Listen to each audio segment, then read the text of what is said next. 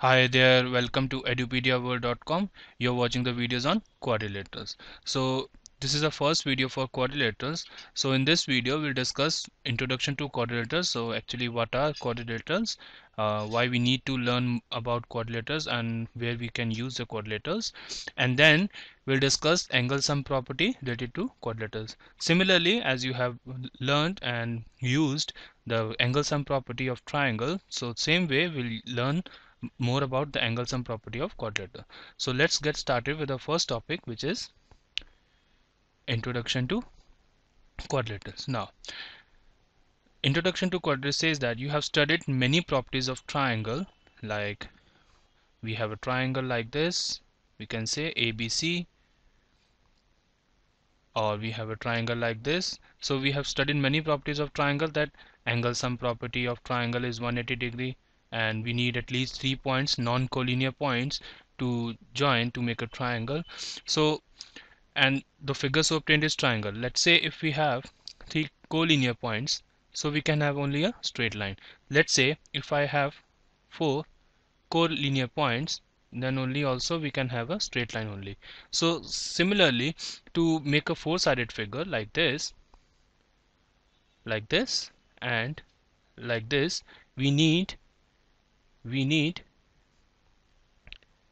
at least four non-collinear points. Now so we need non-collinear points. However let's say if we have three out of four let's say four collinear points let's say then also we can make a quadrilateral no it's not possible. Let's see how it's not possible. Suppose we have three collinear points and one is non-collinear point. So when we join these all these points we still have a triangle. So in the end I can say that to make a quadrilateral like this to make a quadrilateral like this we must have four non-collinear points like this and when we join them we'll get a quadrilateral so this is how we can get a quadrilateral A B C and D. Now let's discuss what are the properties of quadrilateral suppose we have a quadrilateral like this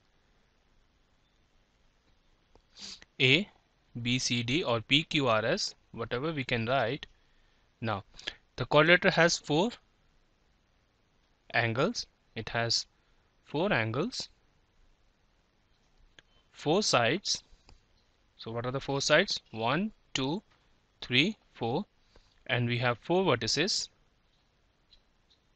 And like this this is the first second third and fourth. And we have let's say we can write we have two diagonals. One is this diagonal another is this diagonal. So we have two diagonals. So these are the general properties of the quadrilateral which we'll use further to learn more about the properties of quadrilateral now let's discuss why we need to learn about quadrilateral so the uh, need to learn about, about the quadrilateral is that let's say if we have a blackboard and and let's say we have a book any book we can say or second maths NCERT book or we have a table anything we see around. Okay now anything we see around let, let's say we have a room room space or we have let's say can we say floor ceiling anything we see around is in a form of quadrilateral so if we know how uh, what are the properties of quadrilaterals and we can use the quadrilateral to measure the area perimeter or whatever we want to design further so we can use the properties of quadrilateral to do certain things. So that's why we need to learn more about the quadrilaterals now so let's move on to the next topic now. Angle sum property of quadrilateral now the angle sum property of quadrilateral says that the sum of angles of quadrilateral is 360 degree. So let's see how we can prove this. So we are given with this quadrilateral A B C D A B C D and we have one diagonal AC so this is a diagonal and we need to prove that the angle sum property is 360 degree. So let's see how we can prove that. So proof. Let's discuss the proof. Now first of all consider triangle ADC and in triangle ADC we can say that angle D plus angle DAC plus angle ACD equals to 180 degree. Why? We can say that angle sum property of triangle we can say that now sim let it be first equation. Similarly consider triangle ABC in this triangle we can say that angle B plus angle BAC plus angle BCA equals to 180 degree. Again we can say that angle sum property of triangle? Now let it be the second equation?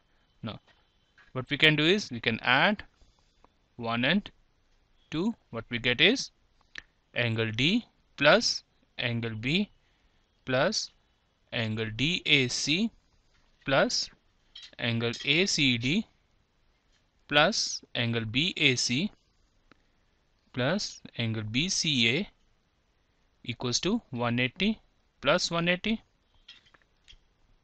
now this is angle D plus angle B. Now angle DAC DAC is this angle and angle ACD is this angle. Now angle BAC is this angle. So we can say that angle DAC plus angle BAC they both form angle A.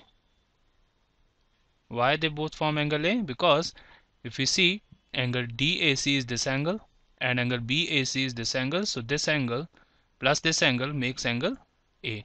So we can write angle A. Similarly if we check angle ACD ACD is this angle and angle BCA BCA is this angle. So this angle plus this angle forms angle. C so we can say that this angle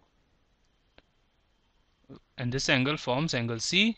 So we can write angle C equals to 360 degree. So this is the angle sum property which says that angle A plus angle B plus angle C plus angle D equals to 360 degree. So this is how we can prove the angle sum property of quadrilaters so thank you once again for watching this video on edupediaworld.com keep watching further videos. Have a nice day ahead